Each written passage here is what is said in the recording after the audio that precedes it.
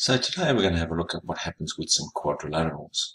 To start off with, we'll have a look at the angles.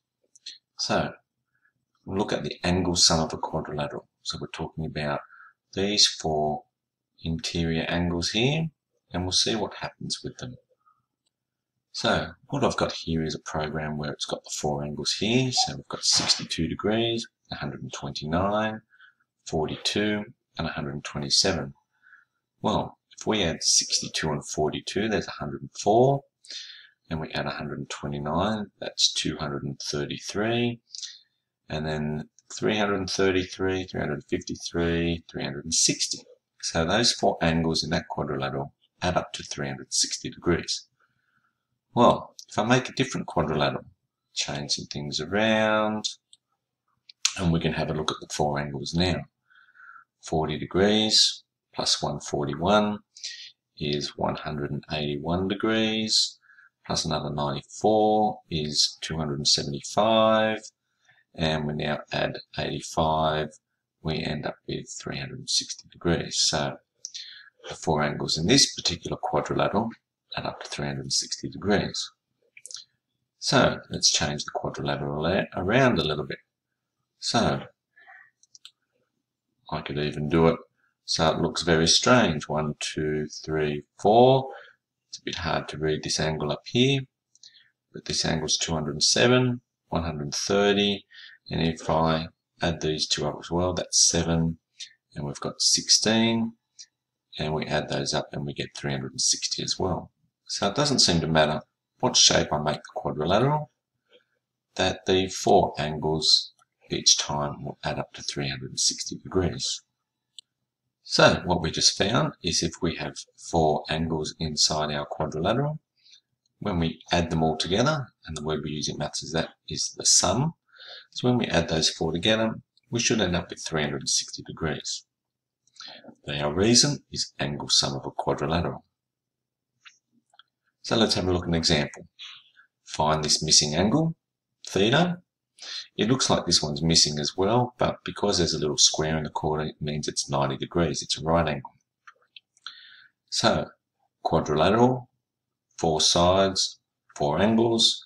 When we add those four together, so theta plus 90 plus 75 plus 50, I work around like that, or I could work around the other way. That way I won't miss any. So just be careful. Don't just go higgledy-piggledy what you need to do is just work your way around so that you don't miss any. And that equal 360 degrees. Don't forget our reason though, so we can show our understanding of why our angle sum of a quadrilateral. So your working out is important and your reason is just as important so that you can explain why you're doing this. Okay, let's add up 90, 75 and 50. We get 215 degrees there and then let's subtract 215 from both sides and we'll find this missing angle is 145 degrees. So that's how we use the angle sum of a quadrilateral to find a missing angle. So let's have a look at some more about quadrilaterals. Well, I didn't start off with this yet, but a quadrilateral is a two-dimensional closed figure with four straight sides. And as you saw earlier, I was moving around a shape so we could find the angle sum and we ended up with all different types of four sided figures, so four different or many different quadrilaterals that we came up with. So, examples that you might be pretty familiar with are a kite, a trapezium, a parallelogram, a rhombus, a rectangle, and a square. So we should be fairly familiar with all of these types here.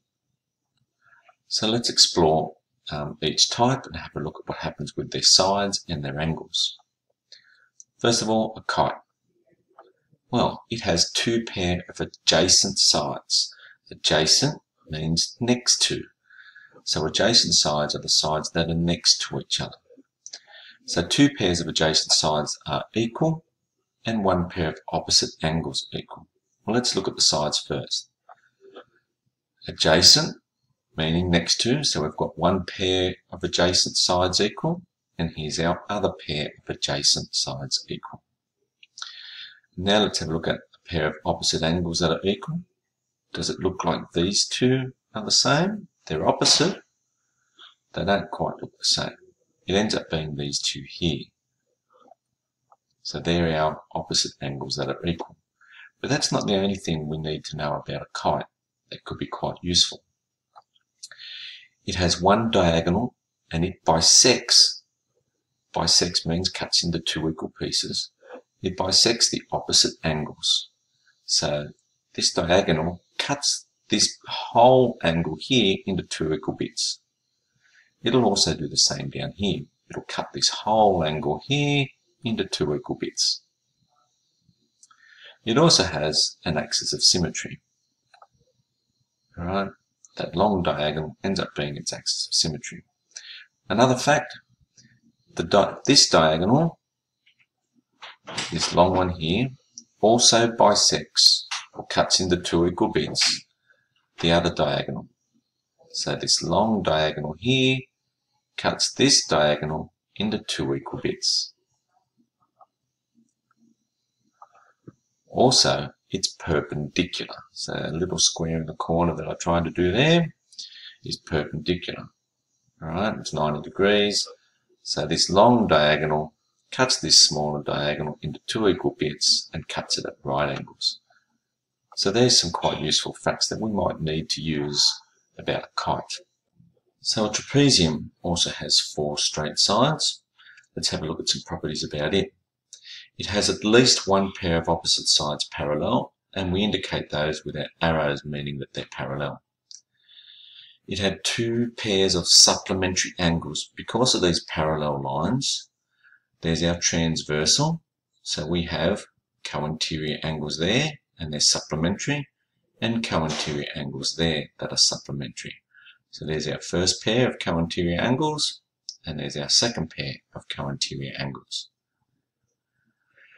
Okay, here's another trapezium. Looks a little bit different. And I thought I'd put another one just so you know that they look all different. So again, one pair of parallel lines, at least one pair. What else do we know? Well, a special uh, trapezium is what we call a parallelogram. It has at least one pair of parallel sides. In fact, it has two pairs parallel sides. Both the opposite sides are parallel. We can indicate those again with our arrows, they're parallel. And these opposite sides are parallel. Notice I used different amount of arrows this time so we know that these two are matching and those ones are matching. What we also find is the opposite sides are not only parallel, but they're equal in length. So these two sides are equal, and these two sides are equal. Also, our opposite angles are equal. So this angle here is equal to that angle there.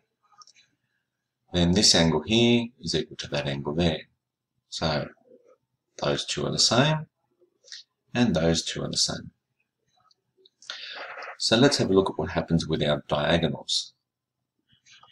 So got rid of those markings from the angles, and we have there's one diagonal, and there's our other, and the diagonals in a parallelogram bisect each other. Remember, bisect means cuts into two equal pieces. So this diagonal cuts this one into two equal bits, and this diagonal cuts this one into two equal bits.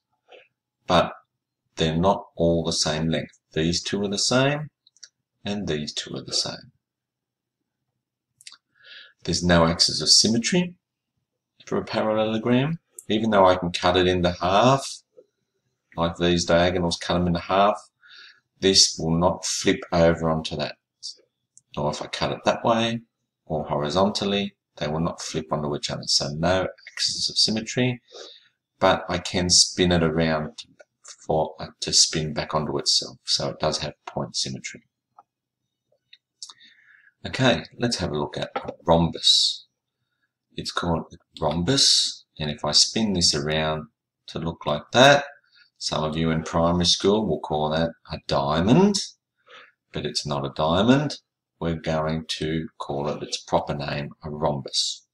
Yes, I know in cards the red one is a diamond, but its proper name is a rhombus. So, let's have a look.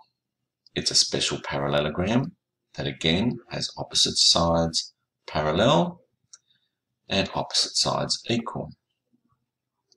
Okay, two pairs of adjacent sides, so the sides next to each other are equal. That equals that, and we know that opposite ones are equal, so that must be the same as well, so must that. So all sides are equal in a rhombus. The opposite angles are equal, just like a parallelogram. So those two are equal, and those two are equal. We also have two pairs of supplementary angles. So we've got co-interior angles because of the parallel lines, and co-interior angles that way.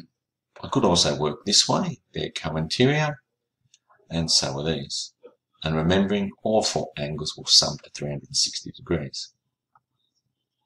So let's have a look at the diagonals. The diagonals bisect or cut in these angles into two equal bits. So they opposite angles into equal bits. Same with the other diagonal. Cuts this whole angle into two equal bits. Same with that. And remember, because the opposite angles are equal, when you cut them both in half, these smaller bits must all be also be the same. Okay, some more things about the diagonals. They're perpendicular bisectors. Perpendicular means 90 degrees. There we have it, 90 degrees, and cuts them into two equal bits. Okay, so those two are now equal, and these two bits are now equal. So there's some things about a rhombus a couple more things. There are two axes of symmetry. For a rhombus, the diagonals. Okay, so this half will fold onto that half, or this half will fold onto that half. Okay, and it also has point symmetry. Let's quickly move on to a rectangle. It is also a special parallelogram, and it has one right angle. So opposite sides are parallel and opposite sides are equal, has one right angle. Now remember, these were co-interior, these angles, and if that's 90 degrees, then that must also be 90 because it's supplementary. And opposite angles are also equal. So we end up with our all angles being 90 degrees, in fact all right angles. Opposite sides are equal in length,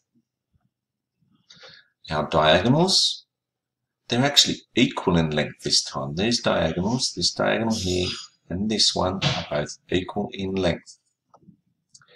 They cut each other in half, but you'll notice that's not a right angle.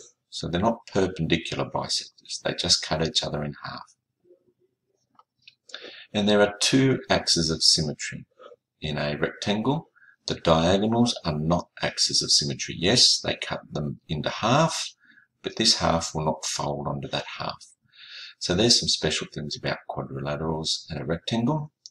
And we've got one more to go through, and that's a square. So, a square. Remember, I could make this particular shape move around, but to make it look a different orientation, it's still a square. No, it's not a diamond. So, it's a rectangle with two adjacent sides equal, meaning these sides are equal. Opposite sides are parallel. Okay. All angles right angles. All sides equal in length. The diagonals are also equal, like the rectangle. Now, when they bisect these angles, remember that was 90 degrees, that must mean that they're 45 degrees. I could do that for all the angles. All would be 45 in there. The diagonals are also perpendicular bisectors. They cut each other into half and also meet at 90 degrees. And there are four axes of symmetry for a square. One, two, and the diagonals as well. And it also has point symmetry. So there's a lot to remember there, all about some different types of quadrilaterals many of which you'd be fairly familiar with, and others might be a little bit new to you. Okay, we'll need these for later on.